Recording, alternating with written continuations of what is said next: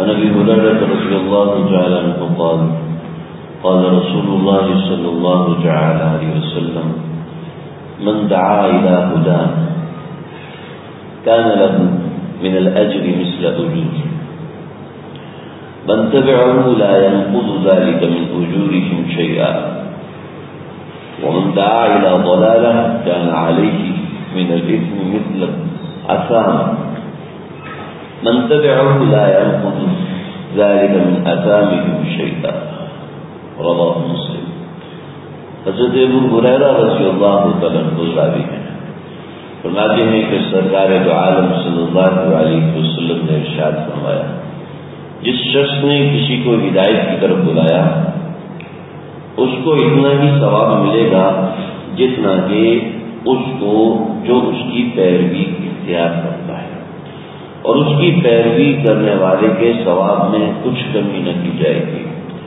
اور جو کسی کو گمراہی کی طرف بلائے گا، اس کو اتنا ہی گناہ ملے گا کہ اس کو جو اس کی اطاعت کریں گے اور ان کے گناہ سے کچھ بھی کم نہ ہوگا۔ مطلب یہ ہے کہ من دعا الى هدى كان له من الاجر مثل اجور من تبعه لا ينقص ذلك من اجرهم شيئا، کہ کسی شخص نے نیکی کی ترغیب دی اور اس شخص نے نیکی کی۔ چنانچہ اس شخص نے نیکی کی تو اس کہنے والے کو بھی اتنا ہی اجر ملے گا جتنا اس نیکی کرنے والے کو اجر مل رہا ہے۔ یعنی کسی نے کسی کو کہا کہ بھی تم حافظ قرآن بن جاؤ، تم عالم دین بن جاؤ اور اس نے محنت کی اور حافظ قرآن بن گیا، تو جس نے اسے کہا تھا اس کو بھی اس حفظ کرنے والے کے اجر میں سے حصہ ملے گا۔ اور اس طرح اجر میں حصہ ملے گا کہ حفظ کرنے والے کے اجر میں کوئی کمی نہیں ہوگی۔ یعنی خلاصہ یہ نکلا کہ الفاعل کا فائدی کسی کام کو کرنے کی ترغیب دینے والا، کسی کام کو کرنے کی ترغیب دینے والا مبارکباد کا مستحق ہے کہ یہ ترغیب دیتا ہے، تعلیم دیتا ہے، تبلیغ کرتا ہے۔ اور جو اس کے اوپر عمل کرتا ہے، اس کو ویسا ہی اجر ملتا ہے جیسے اس آدمی کو تو اجر ملتا ہے، لیکن ترغیب دینے والے کو بھی ویسا ہی اجر ملتا ہے۔ چنانچہ دین اسلام کے کسی بھی معاملے میں تعلیم کرنا، ترغیب کرنا، اب سمجھ لیجیے، تعلیم اور ترغیب محض تعلیم و ترغیب نہیں ہے۔ بعض مرتبے انسان دین کی تعلیم ایسے کر دیتا ہے کہ جس سے سامنے والے کا نقصان ہو جاتا ہے۔ چنانچہ ہر شخص کو دین کی تعلیم، ہر شخص کو دین کی ترغیب دینے کی اجازت بھی شرعن نہیں ہوتی۔ اس کے پیچھے اصول ہوتے ہیں۔ اور بعض لوگ ایسے ہوتے ہیں جو زبردستی کہتے جی ہم یہ کریں گے اور ان کو اس کی فہم نہیں ہوتی۔ تو کیا ہوتا ہے؟ ان کو حدیث میں اشکال ہونا شروع ہوتا ہے، ان کو قرآن میں اعتراض ہونا شروع ہوتا ہے، علماء کے طرز پر اعتراض ہونا شروع ہوتا ہے۔ صحابہ کرام رضی اللہ عنہ اجمعین پر بھی اعتراض کرنے لگتے ہیں اور صحابہ کرام تک کو نعوذ باللہ بدعتی بول دیتے ہیں۔ ایسے شخص، ایسے بے شمار لائن لگی ہوئی ہے ہمارے ہمارے ملک پاکستان کے اندر، خاص طور پر لائن لگی ہوئی ہے کہ دین کا کچھ فہم نہیں، دین کی کچھ سمجھ نہیں۔ اور وہ دین کی تعلیم کر رہے ہیں، دین کی ترغیب کر رہے ہیں۔ اسی کے پیچھے کے جناب ہمیں بھی اس جیسا عزم ملے گا ایک تو جو مل گیا، لیکن پچاس دوسری چیزیں جو ہیں، وہ خراب کر دی یہ یہ تعلیم دین نہیں ہے۔ تعلیم دین دین کی ترغیب بہت بہت نازک چیز ہے۔ بڑی اہم چیز ہے۔ حضور صلی اللہ علیہ وسلم کا ارشاد ہے، قرب قیامت میں کچھ لوگ ایسے ہوں گے کہ جو جو لوگ دن کو تو مسلمان ہوں گے لیکن رات کو کافر ہوں گے، اور رات کو مسلمان ہوں گے اور دن کو کافر ہوں گے۔ تو مول محدثین اور علماء نے لکھا ہے کہ وہ دین میں ایسی بات کر دیتے ہیں، دین میں ایسی بات کر دیتے ہیں کہ جس کی وجہ سے وہ حد اسلام کو پار کر جاتے ہیں، کفر میں داخل ہو جاتے ہیں۔ ایسی بات کر جاتے ہیں۔ لہذا بہت احتیاط سے بات کرنی چاہیے۔ ہمارے جاننے والے ساتھی گئے کہ تاڑی رکھنا فرض ہے۔ اللہ نے قرآن میں تاڑی رکھنے کا حکم دیا ہے۔ تو مجمع تھا، کافی ان کی بات سن رہے تھے، بڑی عمر کے تھے جب بات ختم ہو گئی، مجمع چھٹ گیا۔ تو میں نے ان سے عرض کیا کہ بزرگوار، آپ یہ بتائیے کہ اللہ نے قرآن میں داڑھی کا حکم کہاں دیا؟ کہاں پڑتی ہے داڑھی کو؟ تو قرآن میں نہیں۔ یعنی جو مولوی لوگ کہتے ہیں، یہ کہاں سے کہتے ہیں؟ میں نے کہا ان سے دوسرے مولوی لوگ کہتے ہیں، کہاں سے کہتے ہیں؟ لیکن داڑھی کا حکم قرآن میں تو نہیں۔ حدیث میں حکم ہے، اللہ کے نبی نے بڑا تاکیدی حکم پڑا ہے اللہ کے نبی صحابی سے ناراض ہو گئے اس نے داڑھی کی چند بال کٹوا لیے تو اللہ کے نبی ناراض ہو گئے۔ لیکن قرآن میں تو حکم نہیں ہے داڑھی کا کہ داڑھی رکھنا فرض ہے۔ قرآن میں لکھا ہوئے قرآن میں کہاں لکھا ہوا نہیں تو آپ نے معلوم نہیں کیا۔ کہتے میں نے تو بہت اچھی بات کی ہے نا۔ چلو کسی کو ترغیب ہو جائے گی اس سے۔ میں نے کہا آپ نے اچھی بات نہیں کی، بلکہ آپ نے قریب الکفر بات کی ہے۔ کہ آپ نے اللہ تعالیٰ پر بہتان مانا کہ کفا بلمت حدیث بالکل یہ تو اور حدیث ہے کہ کہ کہ وہ شخص جو ہم نے بات نہیں کی اور ہماری یعنی اللہ کے نبی کو جو بات ہم نے نہیں کی اور اس نے بات ہماری طرف منسوخ کر دی پھر یہ سبب ہو میں پیار ہوں میرے نام اور آگ کے اندر اپنا ٹھکانا بنایا معمولی بات نہیں ہے۔ دین کی بات کرنا، دین کی بات دوسرے کو سمجھانا معمولی نہیں ہوتا، ترغیب دینا یہ کوئی معمولی بات نہیں ہوتا، بڑی ذمہ داری کی بات ہوتی ہے، بڑی اہم ترین بات ہوتی ہے۔ لہٰذا میں نے کہی میں نے تو اچھی بات کی اور ایسے جب کوئی بندہ نیک کام کرتا ہے، جو اس کی نظر میں نیک ہوتا ہے، تو اس کو سمجھانا بھی بڑا مشکل ہو جاتا ہے۔ وہ ماننے کو تیار ہے میں میں کہیں نہ کہیں سے قرآن سے نکالوں گا، بھائی کہاں سے قرآن سے نکالیں گے؟ جب قرآن میں ہے ہی قرآن میں داڑھی کا داڑھی کا کے لیے حکم نہیں کہ داڑھی رکھو۔ قرآن میں نماز کے لیے حکم ہے نماز رکھو۔ قرآن میں روزے کے لیے حکم ہے کہ خود علیہ تم پر روزے فرض کر دیے گئے ہیں۔ تو ایسے دین کے بارے میں زبان کھولنا بڑا اہم بات ہوتی ہے، بڑی نازک بات ہوتی ہے۔ حضرت مجدد ملت مولانا شرف علی خانوی صلی اللہ مرکز فرماتے تھے، دو چیزیں بہت نازک ہیں۔ لیکن لوگ اس کے بارے میں انتہائی غیر محتاط ہیں۔ ابھی کیا ہے؟ فرمایا کہ پہلی چیز ہے صحت۔ پہلی چیز صحت۔ ہمارے پاکستان، ہندوستان کا ہر بندہ ڈاکٹر ہے۔ ہر بندہ کے سب میں درد ہے، یہ دوائی کھانا پاؤں میں درد ہے، میں نے یہ دوائی کھائی تم نے کھانا میں نے، ہم لوگوں نے اپنے ڈاکٹر، اپنے مریض کے ساتھ یہ کیا تھا، وہ بالکل بھاگ دوڑ رہا ہے، بالکل صحیح بھاگ رہا ہے، چل رہا ہے۔ اور یہ یہ ناجائز کام ہے۔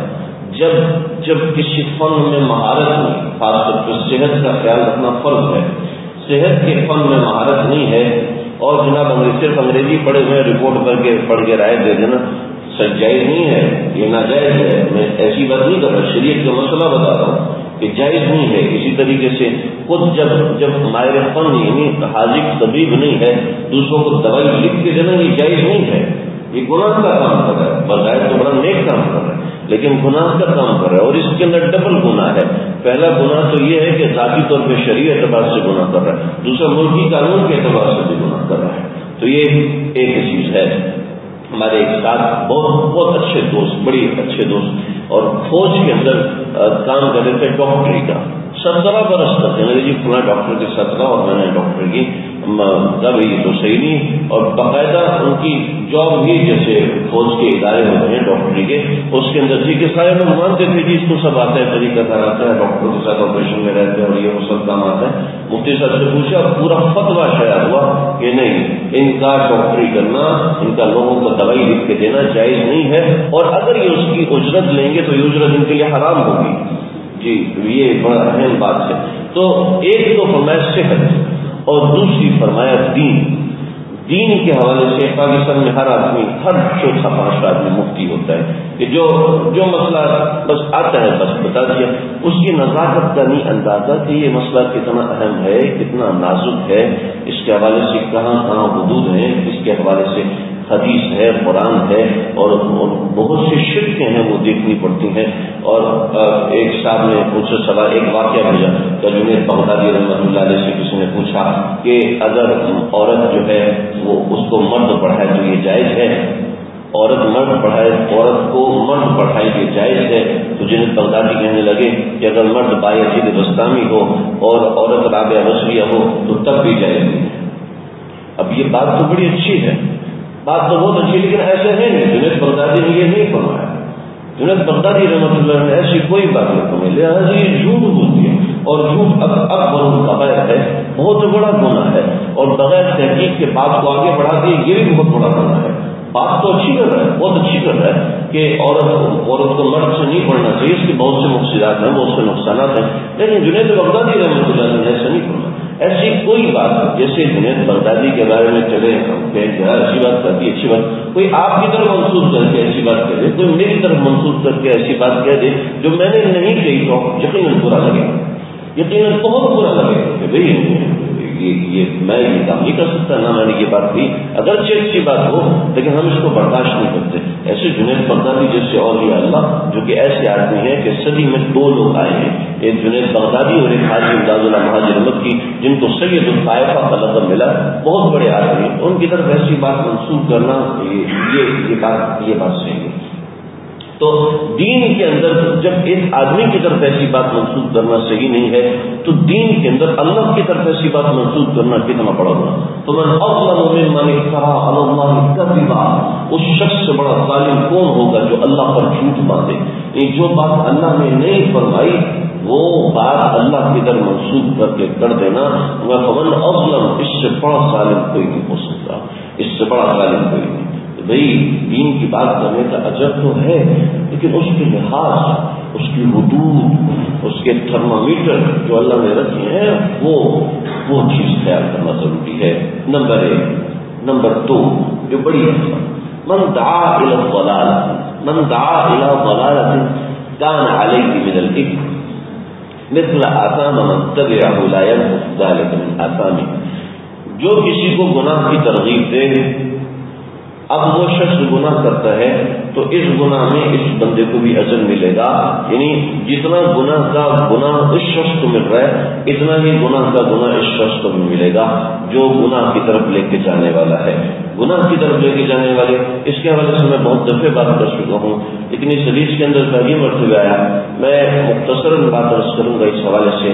بات سمجھیے گا، ہماری شادی بیاہوں کے اندر کوئی نافرمانی ہوتی ہے۔ گھر کے اندر ٹی وی لے کر آ رہا ہے گھر کے اندر کوئی نافرمانی کی چیز لے کے آ رہا ہے۔ چنانچہ چنانچہ جو بھی ٹی وی دیکھے گا، اس ٹی وی لانے والے کو گناہ ملے گا۔ جو اس شادی کے اندر کسی عورت کو دیکھے گا، اللہ کے نبی نے لعن اللہ نازل منظور اے اللہ، اس مرد پر لانت کر جو عورت کو دیکھتا ہے۔ اے اللہ، اس عورت پر لانت کر جو مرد کو اپنا آپ دکھا رہی ہے، اس کو تو ایک، ان دونوں کو تو ایک بار دیکھنے سے ایک ایک لانت پڑ رہی ہے، دس بار دیکھنے سے دس لانتیں پڑیں گی، اور اس شخص کو اللہ کے نبی کی دس لانتیں ایک ہی بار میں مل رہی ہیں اللہ۔ اللہ کے نبی کی دس بد دعائیں ایک بار میں ملتی ہیں اور یہ صرف ایک مرد اور ایک عورت ہے، ایک دوسرے سے خوشگپیاں لگا رہے ہیں، گناہ کا کام کر رہے ہیں، اور اور جو سو لاکھ آئے ہوئے ہیں پچاس لوگ آئے موسیقی بج رہی ہے اور موسیقی کاموں میں جا رہی ہے، سو لوگوں کو، سو لوگوں کا گناہ ملے گا اور جس نے ارینجمنٹ کیا ہے، اس اکیلے کو سو لوگوں کو گناہ ملے گا۔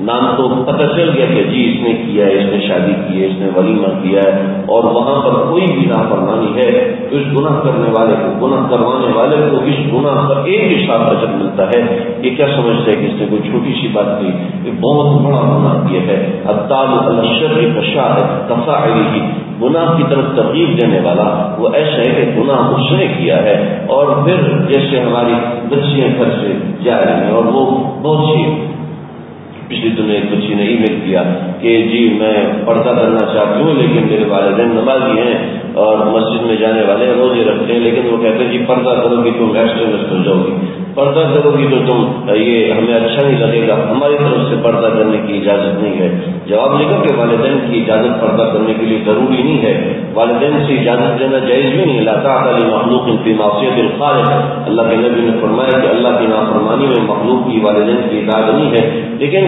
لیکن اس بات کو دیکھ کے رونا آتا ہے کہ والدین ہو کر اولاد سے زبردستی گناہ کروا رہے ہیں، اور اندازہ بھی نہیں ہے کہ ہم کتنا بڑا گناہ کرا رہے ہیں۔ اندازہ بھی نہیں ہے کہ یہ یہ مسلمانوں کی صفت نہیں ہے، معذرت کے ساتھ، مسلمان کی صفت نہیں ہے کسی دوسرے سے گناہ کروانا، کسی دوسرے کو گناہ کی ترغیب دینا۔ بس یہ دو چیزیں ہیں اللہ کے نبی نے فرمائی کہ نیکی کرنے والے نیکی کی ترغیب دینا بڑا مبارک عمل ہے کہ جو نیکی کرے گا اس کو بھی اتنا ہی اجر ملے گا اور جو گناہ کی ترغیب دے گا اس کو اس گناہ سے بھی اجر ملے گا اللہ تعالیٰ